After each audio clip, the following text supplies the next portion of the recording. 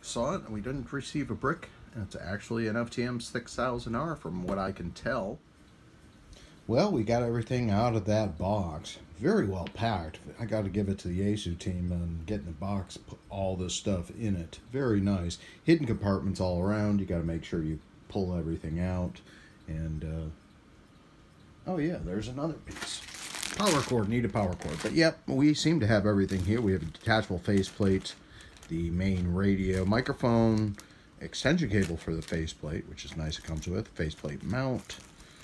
What is this? Here our USB data cable, mic clips, mounting accessories, fuses even.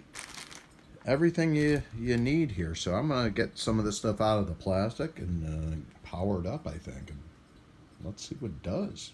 Now we've cleared up what we're going to use for right now. And I didn't know when I uh, took the package off that this has the uh, bracket on it.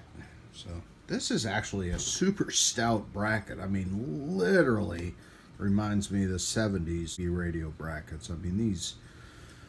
And it kind of it reminds me of my uh, father's uh, Kenwood TR7950 with the slide off slip bracket. So that's cool. You take it inside. Oh, it has a fan on it too. Oh, we don't have an external speaker B on it. But it's all inclusive. Nice data jack. We have extended speaker A.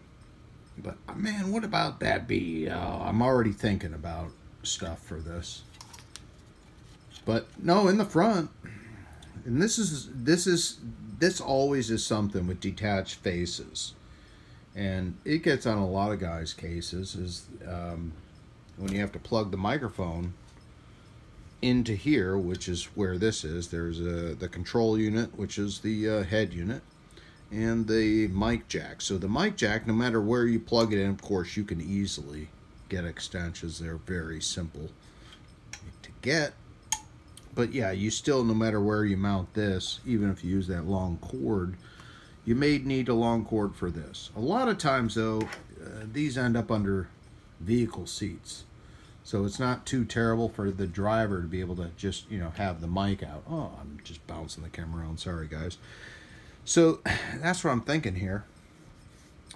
And, uh, you know, some people like it when it's built into the head unit itself, which we do have a data USB port there. Hmm. I'm going to have to read the manual for sure. I, I can't believe it, guys, but yes. I'm going to admit I'm going to read the manual a little bit. So I think that uh, sneaks out the side right like that. I really should read the instructions just a little bit. Don't want to break anything. Goodness. Well, this is all kind of together. It does remind me of the radio I sent my father, which I guess has disappeared. now, just one thing that I did realize after just doing this, I was like, well, it does have the attachment, let's use it. But it is a stationary attachment here. So it doesn't, uh, you can rotate it side to side, but you can't rotate it this way. So it's like you can't uh, do the same kind of, you know, tilt on it odd. I'm glad it's included. I mean, it's definitely good for uh, Boy, it is tiny. It is nice. It is feature packed. So we're going to power it up real quick. I still have the little display cover on it. But we're on 144. Now I know I read the manual just enough to be dangerous. It is a deep menu. You can, oh, wait a minute. We don't need to do that at all but it's an easy way. Another feature. TX power, let's do that. Make sure we're on high. Uh, 144, that's kind of what we're going for right now. All right, we have uh, you know, a little 43 and a half or so watts out of 50 from what they say, of course. I don't trust this meter as much as I probably trust this radio, just, you know, cost difference and everything. Um, but uh, we're just going to go to the next band. 222. Wait a minute. It's a 2 meter 440. Oh. I'm inhibited. goodness. Why am I inhibited? Yes, this is this is a more general coverage receiver, so we hit that band again, we got 430. But we're transmitting on 430. Interesting. And we hit the band again, 850. 850. Inhibited. Band again, 108. Inhibited. We're inhibited, ladies and gentlemen. But yeah, we do have general coverage. We can hit this uh, button real quick. Take 144, go up to like 158. But we're uninhibited, but we can uh, we can receive. It's actually crazy because the uh, the receive on this goes all the way up. And of course, they still do the cell blocking on some of these. But yeah, we have coverage, but we're, you know, we can't we can't transmit. We can receive on all this. It's the craziest thing. So yeah, it does have some crazy receive built into this radio here. Um, just real quick. Yeah, so there is the uh, air band, 108 to 137. That's actually an AM. And we got our 2 meter uh, 144 selection.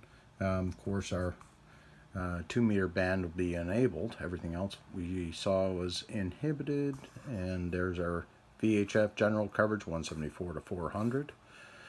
And uh, there's our 7 centimeter right there with the general coverage as well uh, down below, which is uh, 480 all the way up. But yeah, everything else is inhibited on all that. And man, that's pretty cool. Uh, I know a lot of uh, public safety have gone trunk and analog, but it's still a great general coverage receiver for what's on the bands and what's what's out there uh, to listen. And um, I think there's 1,100 uh, program channels on it. So that is pretty, pretty cool. So we're going to talk about installing the Bluetooth unit in this radio. Now I was thinking we're going to have to pop the covers, but we don't. It's actually built into the faceplate. Uh, we have to change uh, our little uh, faceplate. We have to add that little adapter. Um, we got this little BT or BU4 and we actually have to take the, uh, the faceplate off and uh, installed in the faceplate. Kind of makes sense. Plastic here, everything else is metal. Bluetooth coverage. Otherwise, yeah. Anyway, yeah, this is off the basic operating manual. That's the one that comes with it. Now, if you go to their website, you can download a copy of the uh, advanced manual, which is 37 more pages of just everything you can imagine inside this thing. And yeah, free, uh, just the paper for you to print this out. But yeah, I mean, it goes through uh, different functions, right? I mean, just highly advanced features. A lot of people only need the basic operation, but this gets you doing a whole bunch of different stuff. So it, it's, a, it's a radio you can dig deep into. Um, basic, just one frequency display, but we're going to go ahead and install this Bluetooth module. Let me go ahead and get this part and let's uh, take the screws off and let's take a look inside. Boy guys, I think we're going in for surgery. So yeah, this is the tiny little uh, control panel here. And uh, everything inside here, of course that data jack, I looked that up. Uh, data jack is the same as the one on the on the um, unit. It's to update the firmware of just in here and the data jack in the actual main unit in here is to update panel firmware. Now I don't think they, well sorry guys. Yeah, so that one is different than this. It's not an extension. So you um, get panel firmware and you get keypad firmware. From what I can tell. I've not seen any files. If anybody knows any, that'd be kind of cool. But uh, yeah, overall, looks like we're dealing with uh, right here, right in there. Wonder how it's going to be secured. Hmm. I guess we're going to have to open the box real quick. Let's see what we got. Should be some good instructions, right?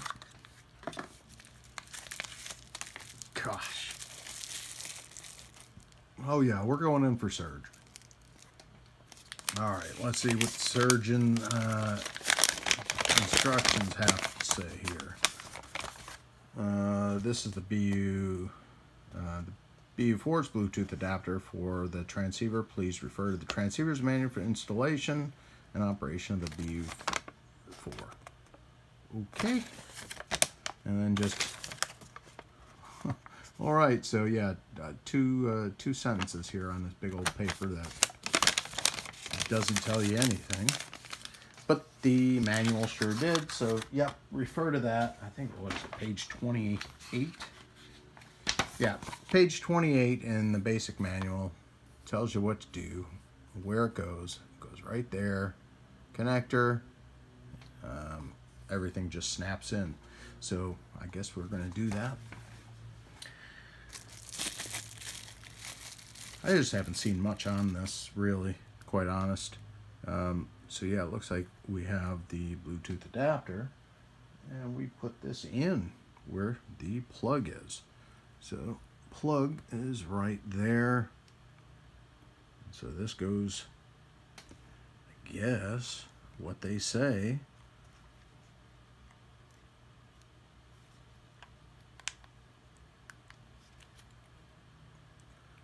Okay, I guess that's it boy, I don't want to keep this apart too long. I don't want to break anything in this thing.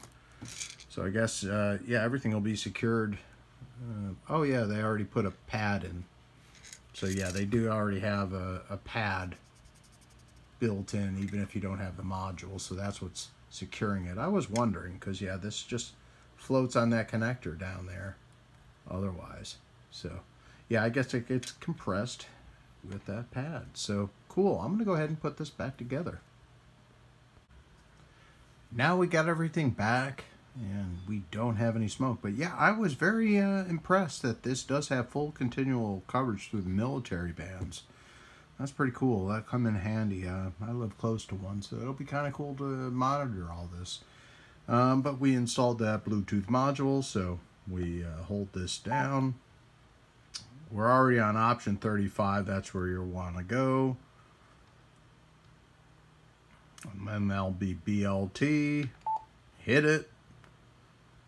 Hit the dial again. Now we have Bluetooth option. So that's pretty cool. Now I was told about the MARS CAP mod on this thing. Now I think it's just going to open up our UHF and VHF options. It's not going to give us full coverage. I mean, they wouldn't sell a receiver like this. That you could take the uh, MARS CAP mod and just have full coverage from 108 to uh, gigahertz wouldn't wouldn't be possible, especially one antenna connection on the back and that price point. So I'm thinking it just opens up the the, the uh, 137 to 174 and then the 400 to 480, which is good. It helps. Um, especially I know a lot of guys that uh, do security and stuff like that. They end up having these uh, radios here and they monitor their security frequencies, but they can also hit two meters or 440. Um, you know, just to have one less radio or antenna in the car. Um, but yeah, then you can program in. But yeah, trunking gets in the way because this is analog only. But um, great little unit so far. But uh, we need to take a look at that MARS CAP mod. It's a long video. I'm sorry, guys.